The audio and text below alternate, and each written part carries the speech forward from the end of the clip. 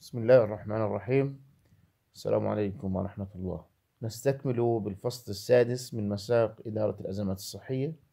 نتحدث فيه عن نموذج عملي لإدارة الأزمة حسب الخطوات اللي أخذناها بالفصل الخامس الفصل السابق. آه، كما هو معلوم أن الهدف من إدارة الأزمة هو تقليل المخاطر تجنبها تجنب حدوث الأزمة بالأصل ولكن إن صارت أنه نحد من هالخسائر اللي قد تكون مصاحبة لوجود الأزمة. كمان أنه نستفيد من هالتجربة في الواقع الحالي إلى مستقبل قد يكون قريب أو بعيد للتعامل مع أزمات مشابهة. لهيك توجد عدة آه، أو ثلاثة متطلبات للتعامل مع إدارة الأزمة. أولها مرحلة ما قبل الأزمة وهي لها عدة آه، متطلبات أيضا. والمرحلة الثانية مرحلة التعامل مع الأزمة حقيقيا لما بتصير بشكل واقعي. والمرحلة الثالثة هي مرحلة يعني آه، استعادة الوجود والهمة والنشاط والتعلم والدروس المستفادة أو ما يسمى مرحلة ما بعد الأزمة. المرحلة الأولى هي مرحلة ما قبل الأزمة وهي تعتمد بالدرجة الأولى على آه، الاستعداد ووضع البرامج الوقائية وآليات منع حدوث الأزمة قدر المستطاع. هاي بتعتمد على تخصيص الفريق اللي بده هو مسؤول عن إدارة التعامل مع الأزمة تخصيص الوقت والموارد والإمكانيات والقوى العاملة بشكل عام آليات وضع السيناريوهات آه، المحتملة للتعامل مع الأزمة.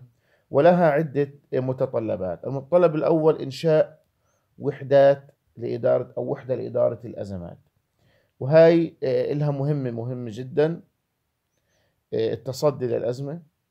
آه، مهم جدا أنه تفوض هاي اللجنة أو هذا الوحدة أنه تمنح لهم الصلاحيات تحدد فيها المهام والمسؤوليات.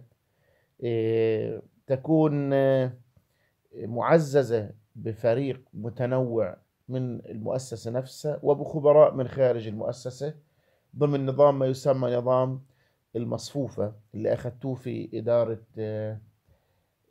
في إدارة الجودة. نظام المصفوفة إنه بكون في عندي أشخاص من كافة المؤسسة بكونوا صف واحد يعني بكونوا على مستوى إداري واحد. هم مجموعة مختلفة. آه مجموعة مختلفة بالتخصصات قد يكونوا إداريين أو فنيين أو مساعدين ويكونوا خبراء من خارج المؤسسة. هذول كلهم بيكونوا ضمن مستوى إداري واحد. هاي الوحدة تتسم بالمرونة وسرعة التكيف. ولما بنقول مرونة وسرعة التكيف لأنه يعني سيضع سيناريوهات للتعامل مع الأزمة. هذا لا يعني أن الأزمة ستأتي وفق السيناريو أو التصور الفكري اللي هم وضعوه. فقد يكون هناك اختلاف. لذلك يجب أن تتسم بالمرونة وسرعة التكيف لأنه الظروف متغيرة في الأزمة وزي ما حكينا أنه كل شوية في جديد في الأزمات. نظرا لوجود الأزمات وتنوعها واختلافها في كافة المجالات صار اهتمام جديد لدى المؤسسات الأكاديمية ومؤسسات التنمية البشرية نحو التخصصية في إدارة الأزمات ماجستير ودكتوراه ودورات متخصصة آه، في المجال. المتطلب الثاني في مرحلة ما قبل الأزمة إنشاء فرق مهمات خاصة. وهاي الفرق آه، تخصصية آه، عندها إمكانية للتدخل السريع عشان هيك بيكونوا مدربين تدريب عالي المستوى بتكون متوفر لديهم اللوجيستكس أو الأدوات اللوجستية وما يلزمهم. التدريب هذا بيكون خاضع ل يعني تخصصية عالية حسب نوع وحجم الأزمة. عشان هيك بنلاقي دائما فرق الدفاع المدني أو بنلاقي العساكر أو كذا بتسمعوا إنه مناورة إن هي عبارة عن عيش حقيقي للحاله لو صار في عنا أزمة. فبتعملوا مناورات ميدانية وبتعاملوا مع واقع يعني كأنه حقيقي من أجل الاستعداد لها المتطلب الثالث التدريب. والتدريب إعطاء يعني دورات متخصصة إيه، كثيرة للعاملين. ومهم جدا عيش الحالة إيه، في حال وجود الأزمة. مهم جدا تحديد الأدوار لكل أفراد آه، اللي تم تدريبهم. كل واحد يعرف إيش الدور المناط فيه. لأنه في حال الأزمة لو ما كانش كل واحد عارف إيش المهمة اللي عليه ممكن كليتنا نهجم على جزء معين ونتعامل مع جزء معين في الأزمة ونترك أجزاء أخرى. فحيكون فيها نوع من الأوفرلاب أو التداخل ومش حنقدر نصل إلى اللي هو الإنجاز الصحيح على الميدان. آه، المتطلب الرابع التطوع ومشاركة القطاع الخاص وهذا مهم جدا يعني فتح القنوات مع القطاع الخاص والمؤسسات الأهلية والمؤسسات الداعمة لأنه يعني أكيد عندهم خبرات عندهم إمكانيات عندهم لوجستيات ممكن يساعدوا فيها.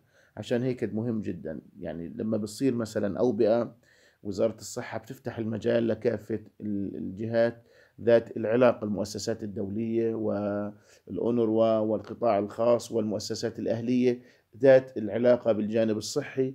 وبصير في لجنة واللجنة هذه يعني ضمن أعمال تطوعية للفريق الآخر غير وزارة الصحة. بتم اللي هو التعامل مع الأزمة ومد بالإمكانيات والموارد والخبرات اللازمة.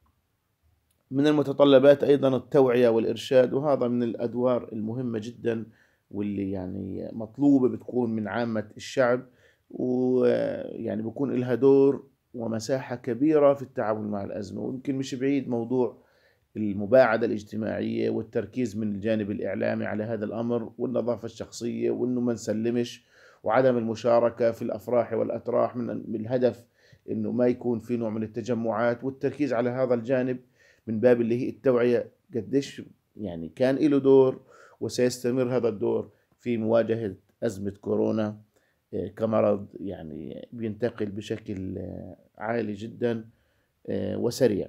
لذلك التوعية والإعلام أمر مهم جدا للتعامل مع هذا في هذا الأمر. متطلب أيضا التعاون المحلي والإقليمي والدولي قد ما بدها تكون عندنا إمكانيات بتضلها محدودة ما دام أن هناك أزمة وما دام أن هناك أوبئة وهناك جائحة.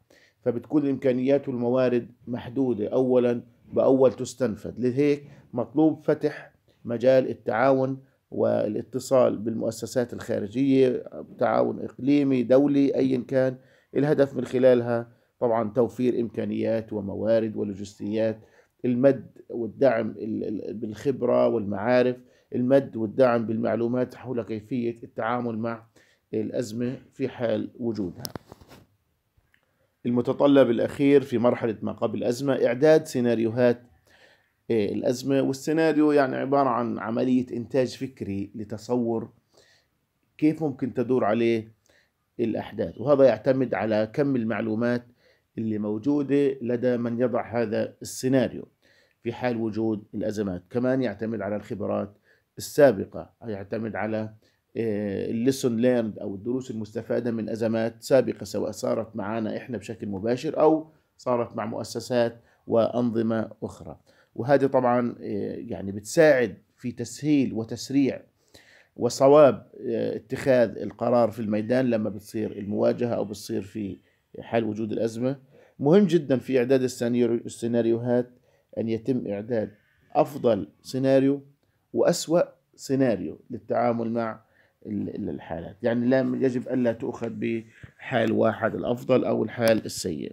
ويمكن كثير لما إحنا بتمر معنا أحداث وشغلات إيجابية بننبسط عليها بنبدأ نتصور يعني واحد مثلا بده يناقش رسالة الدكتوراه ولا الماجستير ولا البكالوريوس بيعمل سيناريو كيف بده يشتغل كيف بده يعمل بيبدأ بيستحضر إيش ممكن يسأل فبيطرح تصور فكري بيعتمد على معارف سابقة من أجل التعامل مع الحدث في حال وجوده.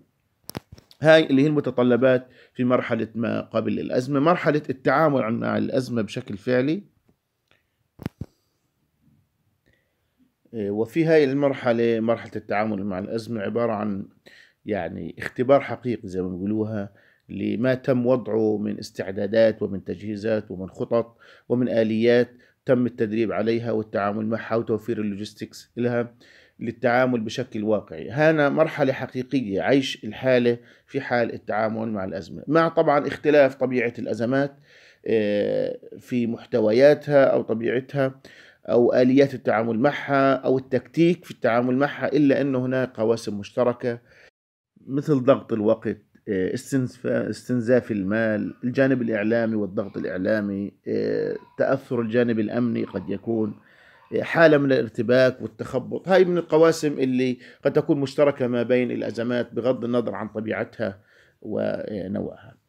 مرحلة التعامل مع الأزمة تتسم بعدة متطلبات. الأولى تنفيذ خطط الأزمات والتنفيذ هذا يعتبر يعني عيش حقيقي لما تم إعداده مسبقا من من الخطط والتكتيكات والتجارب اللي تم وضعها على أوراق أو تصورها ذهنيا من خلال السيناريوهات هاي طبعا آه، فيها مهم جدا أن تتسم هاي الخطط آه، التي تم وضعها بالمرونة لأنه تختلف طبيعة الخطة عن الحالة الحقيقية للتعامل مع الأزمة. قد تختلف تتسم بالمرونة الكفاءة لدى الفريق اللي بده يشتغل آه، ضبط النفس وعدم الارتباك والتخبط فيها نوع من الدقة للتعامل مع ما تم وضعه مسبقا. هاي اللي هي من ضمن آه، تنفيذ خطط الأزمات. قيادة مركز الأحداث. وهنا يفضل إنه يكون طبعا تعتمد على طبيعة الأزمة نفسها مثلا في حالة المعارك والحروب. ممكن تكون خيمة أو خدمه القيادة موجودة في الميدان نفسه وهذا الهدف من خلاله تسريع اتخاذ القرار. ممكن يكون فيها نوع من تحفيز الفريق اللي عمال بيشتغل وبيتعامل مع الأزمة. هاي من الشغلات اللي هي مهمة جدا. يعني عيش الحدث ومعايشته مع الفريق اللي موجود بتساعد زي ما قلنا في اتخاذ القرار وإعطاء التوجيهات اللازمة في الوقت المناسب. المعلومات والاتصالات مثل ما بيحكوا الأجانب knowledge is power المعرفة هي القوة. ودائما في حال الأزمات في عنا معلومات أولا بأول وبتتجدد بشكل مستمر وبشكل سريع. عشان هيك يجب أن يكون لدى مركز إدارة الأزمات المعلومات الحقيقية وفي الوقت المناسب حتى يتم اتخاذ القرار والبناء على ما يصل من معلومات. من المتطلبات أيضا التعامل مع الإعلام وهذا يعني واضح أنه الإعلام له دور بارز ومهم جدا عشان هيك يعني يفضل زي ما حكينا في اللقاءات السابقة أن يتم تخصيص متحدث رسمي على قدر من الإمكانيات والكفاءة والتأهيل والمعرفة وأن يتم وضعه في صورة الحدث وصورة مستجدات الأزمة أولا بأول. يفضل أنه يكون هذا الشخص يعني لديه الإمكانية المقدرة على التأثير في لدى الجمهور المستمع على اختلاف تخصصاتهم على اختلاف المستويات الفكرية والمعرفية لديهم. أهمية الوقت أيضا من الأمور التي يجب أن يتم مراعاتها في التعامل أثناء التعامل مع الأزمة لأنه يعتبر الوقت أمر يعني مهم وحاسم. وزي ما بيقولوا بيقولوا يعني الضربة الاستباقية دائما بتحدد مسار النتيجة إلى حد ما. فحتى لا يفرض من الخصم أو المتسبب في الأزمة آه، يجب أن يبدأ للتعامل مع الأزمة. هم فريق الإدارة اللي عمال إحنا بنقول بندرب فيهم وبنجهزهم حتى يكونوا هم يعني أقدر على الخصم أثناء التعامل مع الأزمة وإمكانية آه، تجاوزها والتعامل معها. ونجاعة النتائج. ضبط وتنظيم التداخلات يعتبر من الأمور المهمة. وهنا يعني مهم جدا من خلال حتى يتم الضبط بشكل صحيح أن يتم تعيين رئيس اللجنة أن يكون من الإدارة العليا لأنه يسمع له وتذوب الخلافات والتناقضات التي قد تكون موجودة بين أعضاء المصفوفة اللي هم الأشخاص اللي موجودين ضمن مستوى محدد. آه، مهم جدا حتى يتم ضبط ومنع التداخلات أن تتم توزيع أو أن يتم توزيع الأدوار والمسؤوليات وتحديد الصلاحيات لكل أفراد الأزمة. وليس أبلغ يعني من القرآن ولا تنازعوا فتفشلوا وتذهب ريحكم. وهنا ما دام إحنا بنحكي على أزمة وارد أنه يكون فيها نوع من التناحر والتنازع والتخبط. عشان هيك آه، ضمن الإعداد المسبق يجب أن يكون تحديد صلاحيات وتحديد آه، مهام وتوزيعها بإدارة من آه، وإشراف وإدارة من المستوى الإداري آه، الأعلى. سرية المعلومات من الأمور المهمة جدا. بالنسبة للسرية مثل ما بيحكوا يعني المعلومة أو من يملك المعلومة يملك القرار. السرية لا إفراط ولا تفريط. لا إفراط في حجب المعلومة ولا تفريط في إعطاء المعلومة. والنبي صلى الله عليه وسلم يقول تداووا على قضاء حوائجكم بالسر والكتمان. وهذا من الأمور المهمة جدا. النقطة الأخيرة في متطلبات التعامل مع الأزمة المصالح وضرورات الأمن.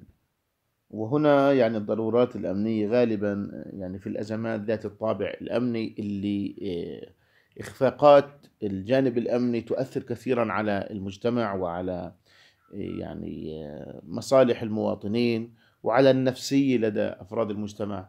والنجاحات الأمنية كم تؤثر بشكل إيجابي على المجتمع بشكل عام. عشان هيك بنشوف لما بصير عند اليهود زمان كان في انفجار تلاقيهم طوقوا هالمكان وبيحجبوا الإعلام ويحجبوا كل حاجة وما بصير أي تصريحات إلا غير لما تتضع عندهم الأمور بشكل واضح وببدوا يبثوا فيها بشكل يعني آه، مبسط حتى لا يؤثر على عامة الشعب. يعني ممكن يكون في عدد من القتلى بيقولوا واحد بيقولوا خطير خطير جدا.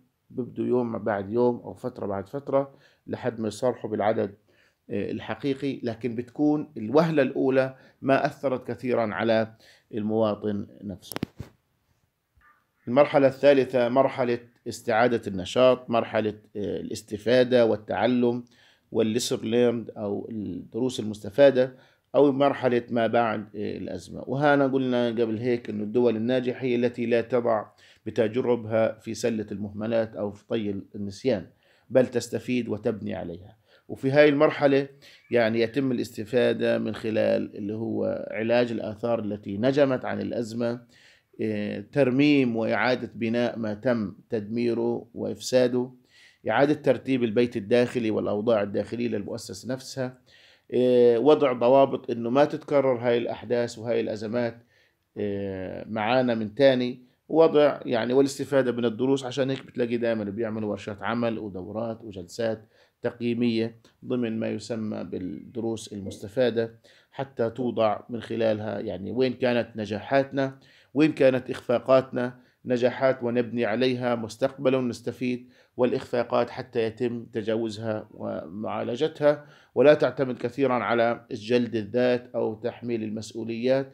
بل أنه إحنا كثير نجحنا في أنه إحنا نتجاوز هالأزمة لكن كان ممكن ننجح أكثر ممكن نقلل الخسائر أكثر ممكن نعالجها بشكل أكثر. فهذه حتكون لها رؤية مستقبليا. طبعا مرحلة ما بعد الأزمة لها عدة محاور. أولها البناء وإصلاح الأضرار.